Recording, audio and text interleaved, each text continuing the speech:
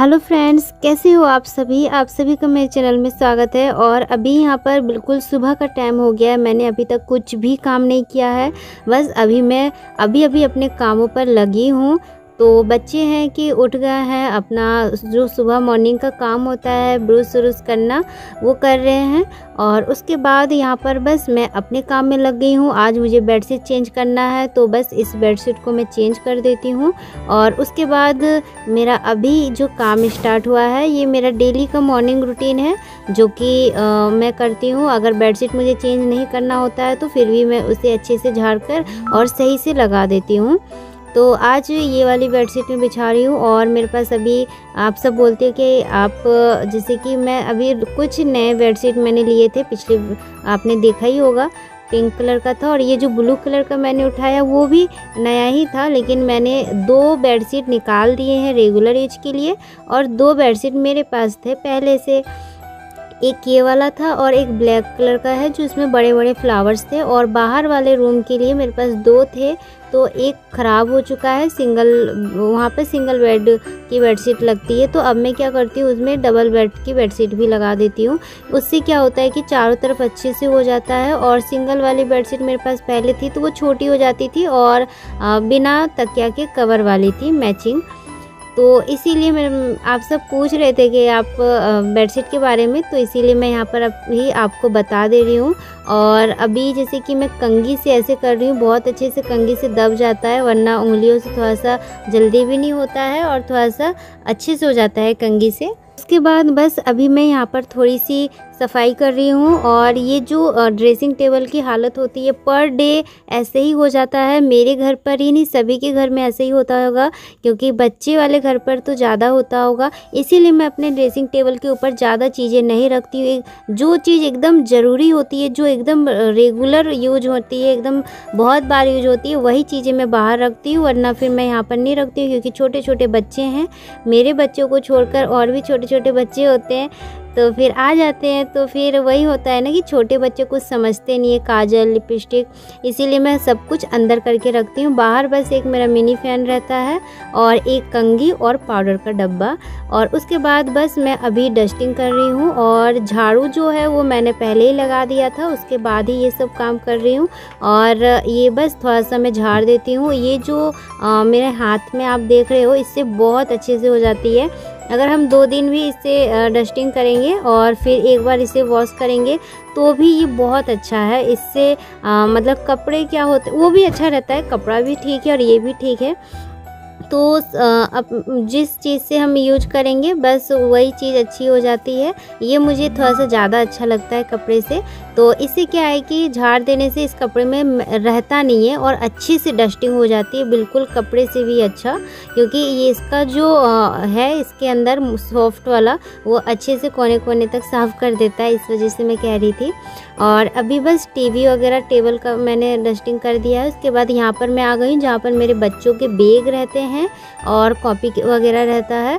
तो बस इसे भी मैंने यहाँ पे थोड़ा सा साफ़ कर दिया है और उसके बाद नीचे बैग रहता है और ऊपर कॉपी किताब होते हैं। और बच्चों के तो ये जो एरिया है कॉपी किताब वाला, यहाँ पर तो रोज़ अच्छे से इसको अच्छे से रखना ही पड़ेगा हम सभी को, क्योंकि क्या होता है कि बच्चे जैसे तैसे रख देते हैं और बार बार बच्चे पढ़, अभी जैसे पढ़ाई करते हैं तो फिर अभी छोटे हैं तो मुझे ही ये सब देखना पड़ता है। और उसके बाद बस अभी पोछा लगाने का टाइम हो गया है तो मैं सभी के, सभी घर में पोछा लगा लेती हूँ और बैठ के पोछा मैं इसीलिए लगाती हूँ आप सब पत को पता ही होगा कि मेरे पास मॉब भी है। जब मैं आ, बहुत जल्दी में रहती हूँ जैसे मुझे कहीं जाना रहता है वैसे तो कहीं नहीं जाती हूँ लेकिन फिर भी अगर जल्दी काम करना है तो मैं उस टाइम मॉब का यूज़ करती हूँ। और जिस टाइम मुझे ज़्यादा जल्दी नहीं है सिर्फ़ घर के काम ही करने हैं मुझे तो उस टाइम में बैठ के ही ज़्यादातर पोछा लगाती हूँ। और आ, मतलब कि बस ये मेरा आदत है इस वजह से। तो यहाँ पर आज मैं बाहर, मुझे धोना नहीं है। रोज़ रोज़ नहीं धो रही हूँ, बरसात का दिन है। बरसात हो ही जा रहा है, सुबह मतलब कि लगा ही है। तो कभी धूप, कभी बरसात, ऐसे ही है। तो इसीलिए यहाँ पर जल्दी सूखता नहीं है, इस वजह से मैं यहाँ पर पोछा लगा देती हूँ। और उसके बाद पोछा से भी क्लीन उतना ही होता है, जितना धोने से होता है। बस ये होता है कि मेरा बरामदा बाहर का है तो थोड़ा सा ज़्यादा गंदा होता है, इसीलिए मैं ज़्यादातर धोना पसंद करती हूँ। और उसके बाद बस अभी यहाँ पर थोड़ा सा धूप निकला हुआ था तो अभी मैंने यहाँ पर ये गेहूँ यहाँ पे डाल दिया था। एक दिन पहले मैंने वॉश किया था तो आधे टाइम के बाद फिर बारिश होने लगी तो मैंने सोचा कि आज एक बार और धूप दिखा देती हूँ, जब तक धूप रहती है। तो बस मैंने यहीं पर अभी इसे बिछा दिया है और पैदान वगैरह भी मैंने अभी धो रही हूँ और जितने बेडशीट वगैरह था वो तो मैं सर्फ के पानी में डुबो कर छोड़ दी हूँ। और उसके बाद बस यहाँ पर बेटी को मैंने नहला दिया है और बेटा जो है वो अभी नहा रहा है बाथरूम में तो फिर दोनों के कपड़े वगैरह भी मैंने ले लिए गंदे। और उसके बाद ऐसे ही मेरा सुबह का जो मॉर्निंग रूटीन होता है, ऐसे ही होता है थोड़ा सा अपने काम निपटाती हूँ जल्दी से और उसके बाद फिर नाश्ता वगैरह हमारा हल्का फुल्का होता है। स्कूल जाते थे तो बहुत ज़्यादा अलग रूटीन होता था और अभी नहीं जाते हैं तो सारे काम आराम से होते हैं। तो बस इसी की आराम भी है एक तरह से देखा जाए तो क्योंकि कहीं जल्दबाजी नहीं है। और अभी मैंने जैसे ही कहा था कि धूप बहुत अच्छी निकली थी, लेकिन फिर कुछ ही देर बाद मैंने नहाया, उसके बाद यहाँ पर धो दिया था मैंने, क्योंकि गेहूँ सूखा ही हुआ था तो वो थोड़ा सा ही बस उसमें धूप दिखाना था। और उसके बाद यहाँ पर मैंने धोकर फिर कपड़े भी मैंने वॉश कर लिए सारे, और मुझे लग रहा था कि बारिश होगा, लेकिन फिर बाद में हल्की फुल्की होती है बूंदा बूंदी तो फिर वो बात रुक जाती है तो मैं कपड़े वहीं पर रहने देती हूँ। उसके बाद अभी मैं किचन में आ गई हूँ और अभी मैं जा रही हूँ केला की सब्ज़ी बनाने के लिए। ये कच्चे केला है और बहुत ही ज़्यादा यम्मी लगते हैं। कच्चे केला की सब्ज़ी जो होती है, जल्दी बन जाती है, बहुत जल्दी बन जाती है। और बहुत ही ज़्यादा स्वादिष्ट लगती है। इसे पकने में बिल्कुल भी टाइम नहीं लगता है। मैंने यहाँ पे थोड़ा सा तेल डालकर और केला को थोड़ी देर के लिए फ्राई कर रही हूँ, तीन, दो, तीन मिनट के लिए। और अच्छे से जब ये फ्राई हो जाएगा तो अपने आप पता चल जाता है। ये थोड़े से सूख जाते हैं और थोड़ा सा ब्राउन कलर का हो जाता है। तो फिर मैंने इसे तल लिया है। मत, तला नहीं है मतलब हल्का सा मैंने इसे भूना है। और उसके बाद इसमें, इसी कढ़ाई में दो, तीन, दो चम्मच इतना मैंने और तेल लिया है। उसके बाद जीरा, प्याज, इसमें मैं डाल दूँगी और इस प्याज को मैं अच्छे से भून लूँगी।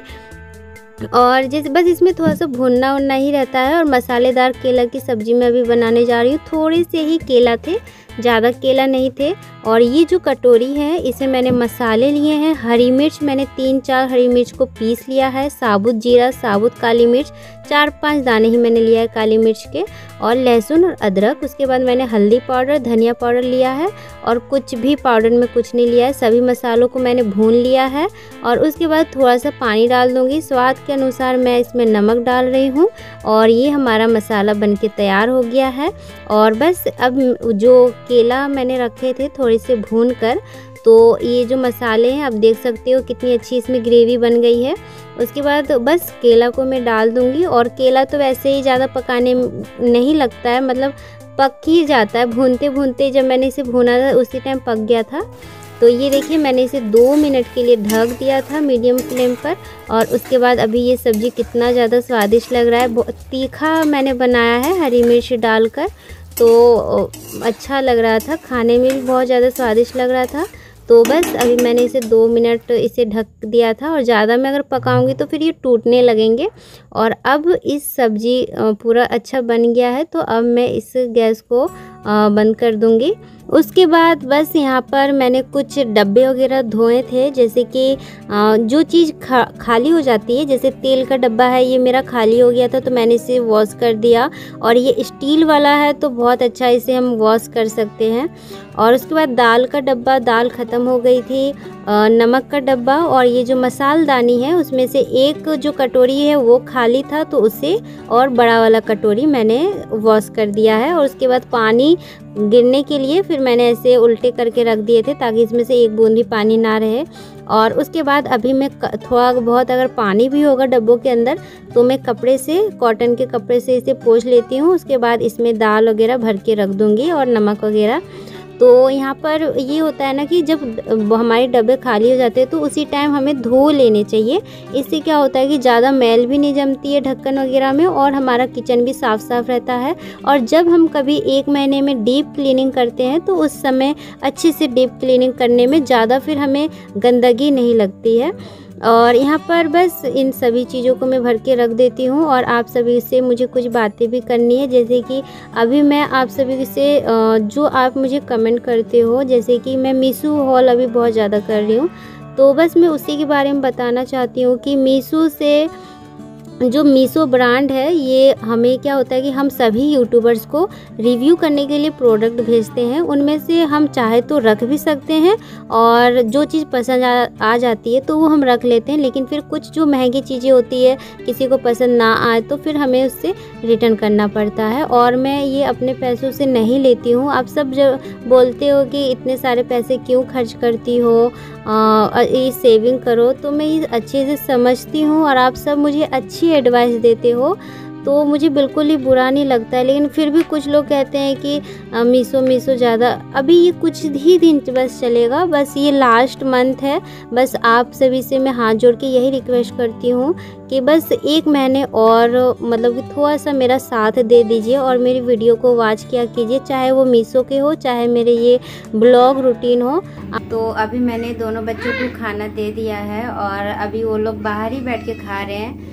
तो मैंने जो बातें आप सभी से कहा है प्लीज़ उसको थोड़ा सा समझने का कोशिश कीजिएगा। और आप सब सोचोगे कि मैं इतनी सफ़ाई क्यों देती हूँ? ये सफ़ाई नहीं है मतलब कि कुछ बातें होती है जो कि आप सबको जानना ज़रूरी होता है। और अगर अगर मैं उस बात को क्लियर ना करूँ तो फिर आ, होता है ना कि आगे वो बात बढ़ती जाती है वो ख़त्म ही नहीं होती है। इसलिए मैं सोचती हूँ कि जो चीज़ें मुझे बतानी है वो मैं बता देती हूँ। शायद उस चीज़ से जो लोग कुछ सोचते हैं, शायद उससे मतलब कि वो मेरे बारे में ना सोचे। और जैसे कि मैंने बताया, ऐसा कुछ भी नहीं है, जैसा आप सब सोचते हो या फिर सिर्फ़ कुछ ही लोग सोचते हैं। और जितने बार मुझे इस बात को क्लियर करना पड़े, उतने बार मैं इस बात को क्लियर करूँगी। क्योंकि मैं नहीं चाहती हूँ कि बस कुछ चीज़ें होती है कि तो वो सब आप प्लीज़ समझने की कोशिश कीजिएगा। तो इस वीडियो को मैं यहीं पर एंड करती हूँ। हम फिर मिलेंगे अच्छे से नए वीडियो के साथ।